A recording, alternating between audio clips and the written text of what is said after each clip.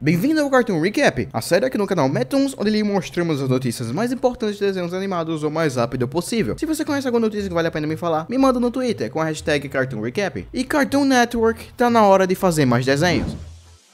O fim de Steven Universe. Ah, lançado em 2013 com 160 episódios, o desenho vai finalmente acabar. E pra falar a verdade, eu não tô triste. Pelo menos ele acabou antes de virar um Bob Esponja da vida com um monte de episódios sem qualidade. Sim, a última temporada não foi tão boa, mas poderia ser pior. O lance é, em 6 de março o desenho vai passar o primeiro dos últimos 10 episódios que acabarão a série. Repito, 6 de março nos Estados Unidos, mas eu não duvido que saia uma hora depois em um site pirata. O show vai acabar com um especial de quatro partes em 27 de março, tá bem pertinho. E como a última coisa, a Rebecca Sugar falou isso para o site Variety. Eu estou tão empolgada para o fim de Steve Universe Future ser mostrado para o público e muito agradecida pelos fãs que nos acompanharam esses anos todos. Foi uma experiência que abriu meus olhos para uma comunidade que ficou junto ao redor de um show. Estou movida e me sinto vista. Muito bem dito, totalmente legítima Rebecca Sugar. Bom, então é isso. O fim de uma série que mudou o Cartoon Network. Agora que ele se foi, só nos resta esperar para ver o que o Cartoon Network tem embaixo da manga para os próximos anos.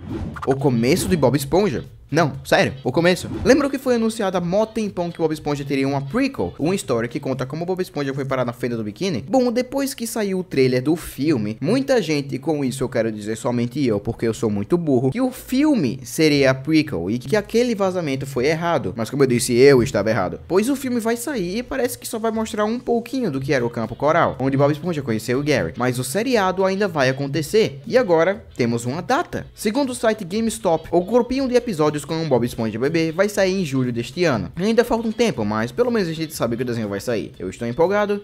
Sim, pelo que eu vi no trailer do filme, o humor parece estar bem divertido. E por mais que o filme continue com esse lance de ser tudo mole e super colorido, deve dar para ignorar se ele for engraçado. E se esse mesmo humor for pro show, pode ter certeza que eu vou ver.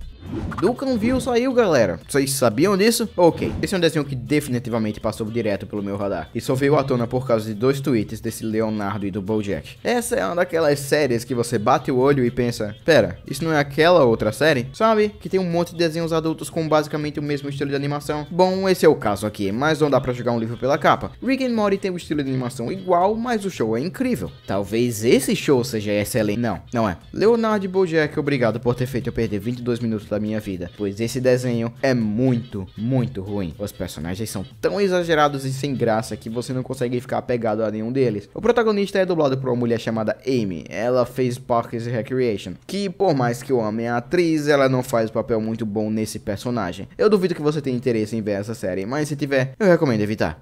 Bem, 10 filmes vão lançar do Ben 10. Que piada ruim. Ben 10 ainda é relevante, não é? Disse o Cartoon Network. Todo mundo ama esse desenho que foi popular nos anos 2000 e que falhou um monte de reboots e remakes, não é? Bom, o Cartoon Network não vai fazer um monte de desenhos novos. Na verdade, ele vai fazer um filme do Ben 10. Ben 10 versus o universo. A gente tem pouquíssimas informações a respeito, só que talvez o filme vai ser no mesmo universo desse reboot que a gente tem hoje em dia. O que vocês acham? Gremlins. Se você nasceu nos anos 80, o que eu acho muito difícil, você provavelmente ouviu falar de.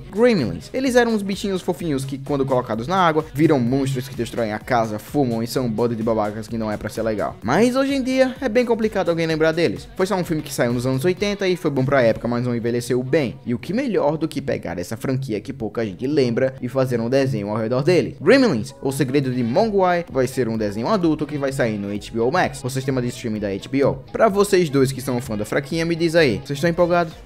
Sony, por favor, não me desaponte. Em 2018 vazou o logo de um novo filme da Sony chamado The Mitchells vs The Machines, um filme onde uma família que é viciada em tecnologia acaba tendo sua viagem acabada porque a tecnologia dominou o mundo no meio termo. Yeah, mas a Sony mancha de fazer animações boas e diferentes. Hotel Transylvania, Spider-Man to the Spider-Verse, tá chovendo hambúrguer, só filme bom. Então vamos fazer mais um. E esse ano, duas imagens foram lançadas que mostram o estilo de animação que parece estar tá bem da hora. Então, por favor, Sony, não me desaponte. Obrigado por ter visto até aqui. Se você quiser continuar ver notícias que saem toda semana aqui no canal, é só se inscrever. Toda terça-feira tem vídeo novo. Eu sou o MM e até a próxima semana.